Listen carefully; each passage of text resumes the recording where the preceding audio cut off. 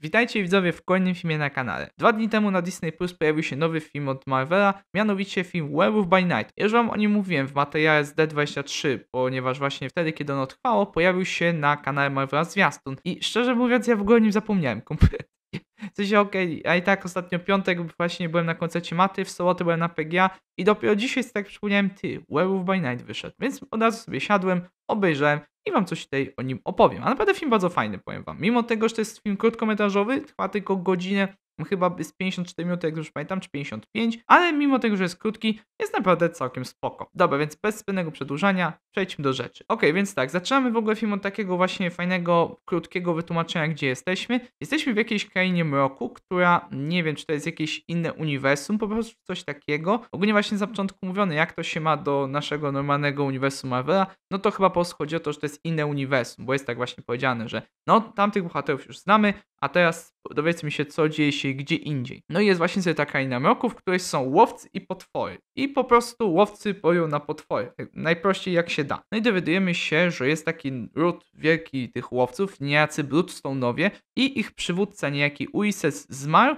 i pozostawił po sobie tak zwany klejnot krwi, taki potężny klejnot, który daje wielką moc dla łowcy. No i co, szef umarł, więc trzeba po prostu wybrać nowego szefa, więc zatują się do jego zamku łowcy i tam oprócz tego, że wezmą udział w ceremonii pogrzebowej, to jeszcze wezmą udział w polowaniu na potwora, które ma wyłonić nowego szefa. Ogólnie prosta sprawa, po ogrodzie, który wygląda trochę jak labirynt, będzie sobie łaził właśnie potwór i kto go pierwszy dowie, ten wygrywa. I jeszcze w ogóle ten potwór będzie miał sobie ten klejnot, więc po prostu wezmą sobie ten klejnot i hurra, mamy nowego szefa wtedy. Ogólnie całkiem spoko, w sensie po prostu no będzie taka fajna bitka, będzie fajna akcja, będzie można sobie popatrzeć jak polują na potwora. I ogólnie tam się zbierają właśnie łowcy, tym dwie istotne osoby. Mamy łowcę imieniem Jack, o którym z początku nie za dużo wiemy, o nim dowiemy się dopiero później. Oraz mamy dziewczynę imieniem Elza, która jest, jak się okazuje, córką Uisesa, która jakoś niezbyt chciała polować na potwory, jakoś jej się nie chciało, ale akurat tym razem w polowaniu weźmie udział i zrobi parę ważnych rzeczy. No i dobra, oni tam sobie wszyscy wchodzą do tego ogrodu i polują na tego potwora i no z początku po prostu widzimy jak oni to robią, nie? Jest tam trochę kilka bitek jakichś między tymi łowcami, bo oni też mogą między sobą się bić. No i widzimy jak na przykład Elza trochę skopuje właśnie tych łowców. Fajnie się na to patrzy, zwłaszcza, że no mamy trochę krwawych scen, typu jakieś ucięcie ręki, jakieś wanięcie w nogę czy coś takiego.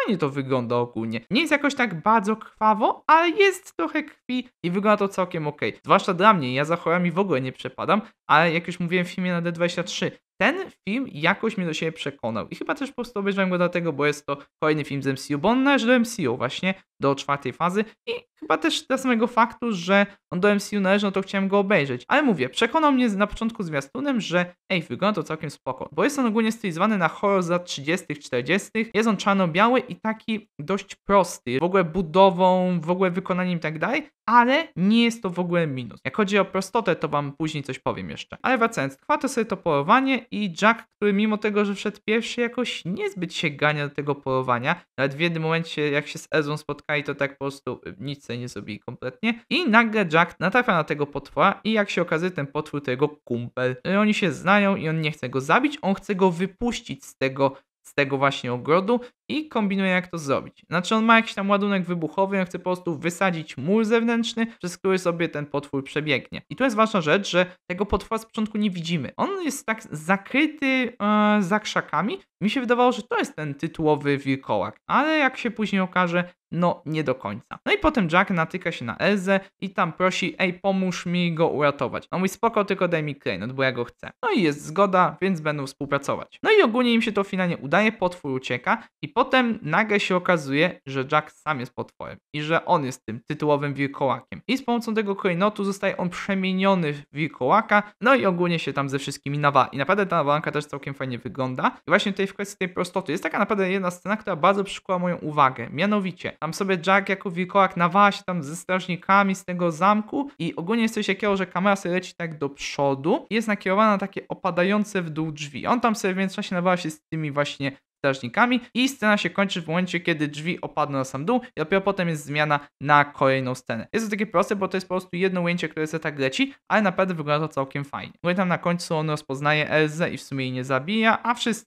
wszystkich innych się tam pozbywają, łowcy zostają pokonani ogólnie, no i Jacksy razem z tym potworem uciekają, a sobie po prostu będzie siedzieć we własnym domu i tyle. I jeszcze fajne na koniec jest to, że kolory wracają. Nie wiem szczerze mówiąc dlaczego dokładnie te kolory wróciły, ale wygląda to całkiem ok. I w sumie na tym film się kończy. Więc mówię, ten film jest bardzo prosty. Tam nie ma jakichś wiece przekombinowanych rzeczy. Po prostu jest to taka prosta przygoda. W ogóle ten film jest skategoryzowany jako horror, ale też jako film o superbohaterach. Więc no po prostu mamy taką prostą akcję, walczymy sobie z potworem, najpierw z jednym, potem z drugim, no i jakaś tam bijatyka i tak dalej. I nie ma tu nic więcej jakiegoś takiego wielce e, rozkminionego. I to wcale nie jest źle. Mi się film bardzo fajnie oglądało. Siadłem sobie na godzinę, obejrzałem sobie fajny film i właśnie sam jestem zaskoczony, no bo ja nie przepadam za takimi filmami, ale ten mi się oglądało jak najbardziej dobrze. Obejrzałem, nie żałuję i mogę wam spokojnie polecić. A jeszcze takie małe info. Bo ogólnie tak, jak obejrzałem film przed nagraniem tego odcinka, zastanawiałem się nad tym, czy ten film jest specjalny z jakiejś okazji. W sensie, czy na przykład tego 7 października, którego wyszedł, nie dzieje się jakieś wydarzenie, na przykład, nie wiem, typu, że tam na przykład kilka lat temu Marvel coś wielkiego miał tego dnia. Informacji na ten temat żadnej nie znalazłem, ale znalazłem informację o tym, że powstaną kolejne filmy właśnie takie w klimacie horrorów, że ogólnie Marvel chce w horrory wejść. I mignęła mi też gdzieś informacja o jakimś regionie potworów z komiksów, nie pamiętam jak się ten region nazywał, do którego właśnie należeli Jack, Elza i jeszcze najnudniejszy na świecie bohater Morbius. Sorry, muszę to powiedzieć. I że mogą zostać oni właśnie przez te filmy wprowadzeni. I moim zdaniem spoko, bo jeżeli takie filmy by powstawały, to nawet ja jako ktoś, kto nie lubi horror, mógłby sobie je oglądać. Także film zdecydowanie polecam. Jeśli macie godzinę czasu wolną, to sobie siądźcie, obejrzyjcie. I można by sobie ten film spokojnie w Halloween obejrzeć, bo jest całkiem spoko. I w takim razie też będzie na tyle w tym odcinku. Jeżeli wam się spodobał, to stawcie łapkę w górę, zasubskrybujcie kanał i widzimy się już niedługo w kolejnych filmach. Może jutro leci vlog z PGA, a jak nie, to leci we wtorek, bo ten film widzicie raczej w niedzielę. No i w takim razie to tyle. Trzymajcie się. Do zobaczenia. Cześć!